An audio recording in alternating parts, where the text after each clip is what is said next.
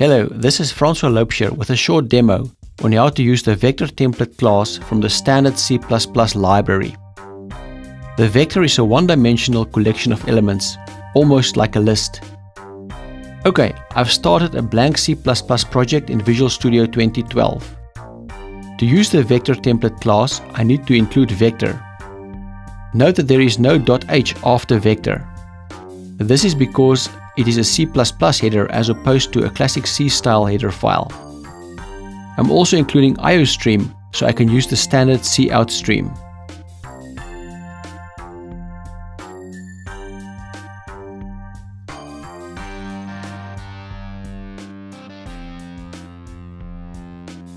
To declare a vector, I state the kind of elements I want to put inside the vector between angle brackets directly after the word vector.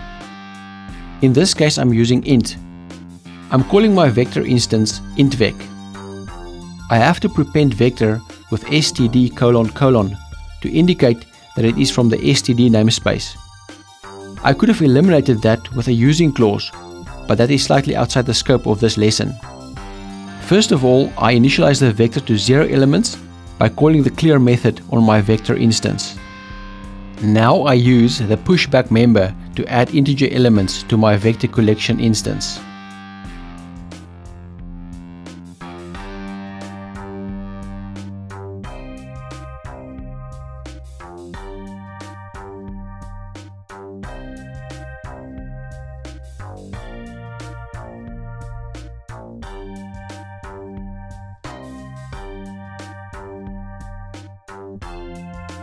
To iterate through my vector, I could use a plain counter and access the elements in an array-like fashion. But the more elegant collection idiom is to use an iterator, which is what I'm going to show you now.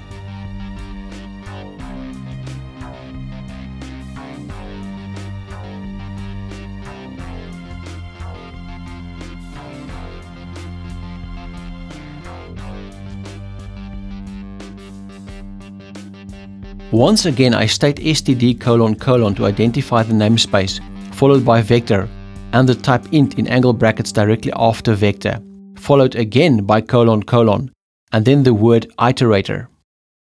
I'm choosing the name intveciter for my iterator. I recommend using short names for your iterator instance names for the sake of clarity, because you're going to use quite a few of them. Now I use a for loop with my iterator as my loop variable.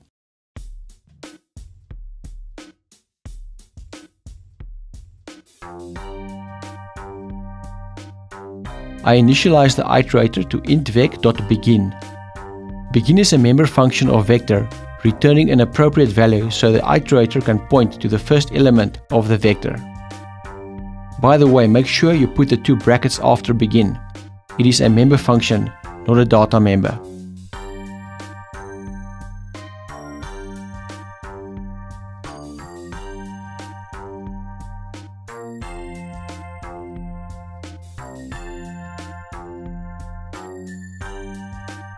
My for loop conditional statement checks whether the iterator is not equal to intvec.end. End is a member function of vector returning one element past your last element. Once again, make sure of your brackets after the word end. I increment my vector iterator instance just like I would any other loop variable.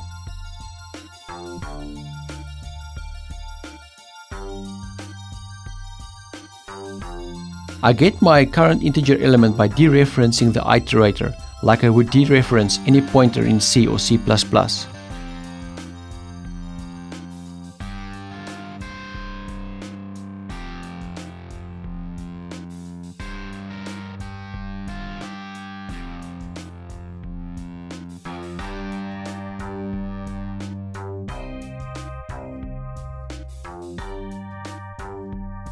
Alright, I hope this short demo on the C++ vector was very informative.